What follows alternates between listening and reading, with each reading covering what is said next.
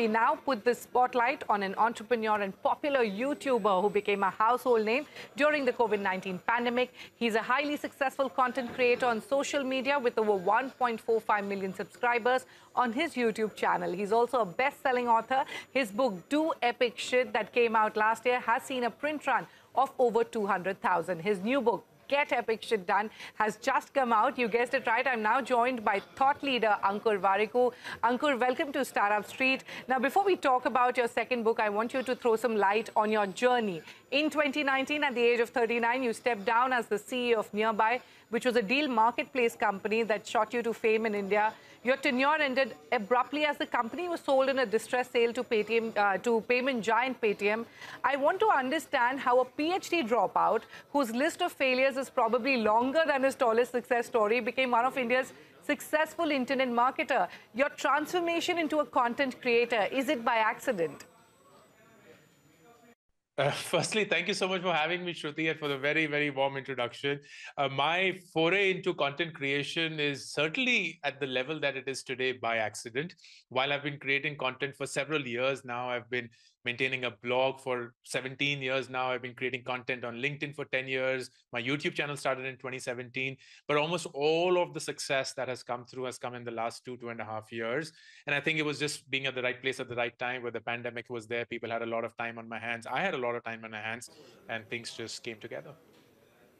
All right, Ankur, you talk about failure openly. Now, what makes you stand out as a content creator? You create mentorship and motivational content for 18 to 24 year olds Indian consumers. Your videos are a mix of life lessons on business mistakes, personal finance, investment, and career advice. Your question gave away the answer, Shruti. I, I think what makes me stand out is the fact that I openly speak about my failure.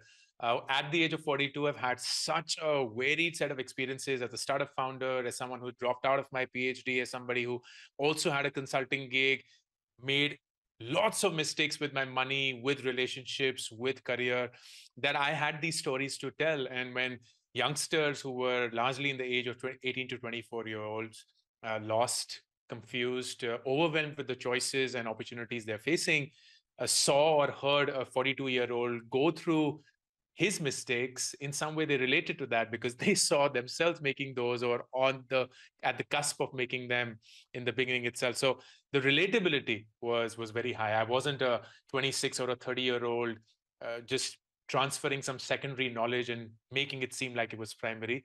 This was my own life that that made it happen. And i'd like to believe that that was one of the biggest things all right, Ankur, you know, in December last year, you published your first book, Do Epic Shit. In typical Warikoo fashion, you dedicated the book to all the failures and roadblocks in your life. What is different about your new book, Get Epic Shit Done? You've written about handling office politics, how to find a passion, uh, dealing with criticism, and a lot more. What target audience are you catering to?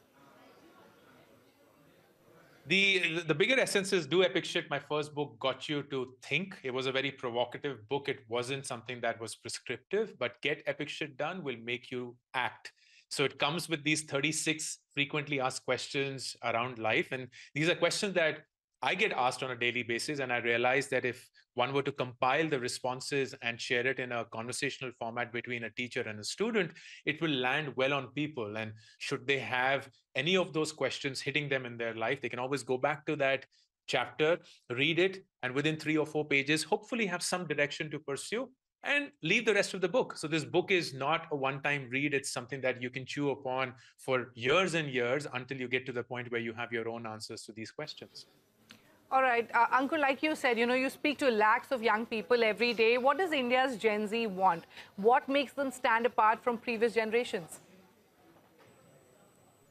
I think the biggest thing is their audacity of their ambition. I do not believe any generation prior has had such a bold outlook towards how much they want to do, how soon they want to do it, and why do they want to do it. Uh, and I think it's a combination of the world going global they now recognize they're not just a domestic workforce, but a global workforce. They now recognize that talent is sought after. And if they were to prep themselves, they would be in demand everywhere. And they also recognize that they don't have to necessarily stick to just one profession or just one stream for the rest of their lives. They can dabble with a lot, discover a lot, explore a lot, and that sets them up on this really nice, exciting journey that they have lived in their 20s or are going to live in their 20s, which is very different from perhaps how you and I lived our 20s. So it's very set, yes. get settled kind of a mode, uh, but they don't want to get settled, and, and that sets them apart uniquely. All right. Uh, Ankur, before we wrap up, let's do a quick rapid fire. So brace yourself. My first question to you is pick your favorite social medium to connect with people. Uh, you know, what would that be and why? I think it'll be Instagram because it allows for a lot of connectivity with people through live sessions and stories and, of course, reels and everything. Uh, so it'll be Instagram. All right. Uh, next up, your three mantras for successful work life. Uh, number one, please optimize for your happiness as against your earning because that ultimately is the longer play. Number two, always be kind around people because if you're kind, life becomes very easy. And number three, don't question the fact that you are not enjoying yourself. Don't question whether you are in the right place or not. If you're not, please go ahead and make a change around that because work life balance is not so much about you going back to a life outside of work and thanking God for that. It is about you enjoying your work just as much as you would enjoy your life other side. Absolutely. And wonderful thoughts there. Next up, you know, your biggest learning so far. One of my biggest learnings, Shruti, so far has been that uh, this came from my first manager, and he remarked, and it stayed with me if I can't trust you, it doesn't matter how smart you are. Uh, and that hit me like a bullet because it, it's just so true. It doesn't matter how smart you are, how hardworking you are, any such thing. If the opposite side does not trust you with your work, you're always going to be one shade lower. Uh, so build trust, and that comes through consistent showing up every single day. Okay. Who does Ankur Warikoo look up to? Ah, uh, Ankur Warikoo looks up to the Ankur Warikoo who will be 10 years from now because I firmly believe that I'll continue growing. All right, one final question. Startup founder or content creator, what is more challenging? Oh, 100% startup founder. I don't think there's anything more laborious emotionally, physically than, than that is. All right, Ankur. Many thanks for joining us on Startup Street and wish you the very best with the new book and, of course, with all your future plans once again.